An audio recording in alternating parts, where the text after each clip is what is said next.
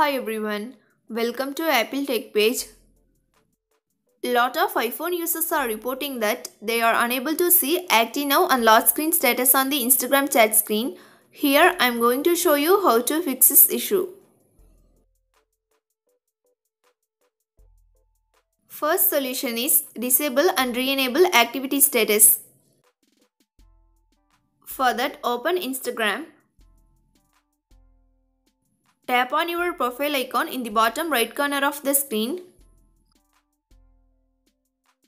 Tap three horizontal lines in the top right corner.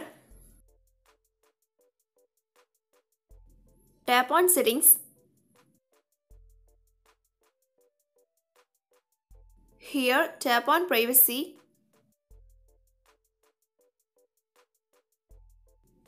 Tap on activity status.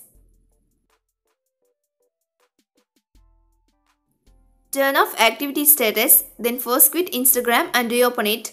Turn on show activity status. Now check if active status is displayed or not.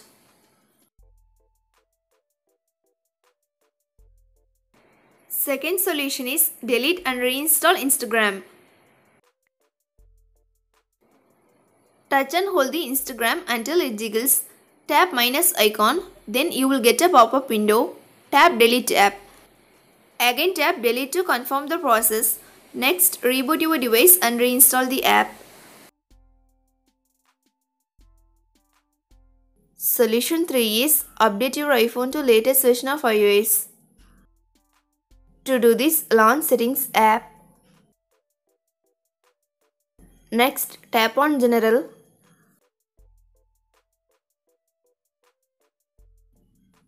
Tap on Software Update.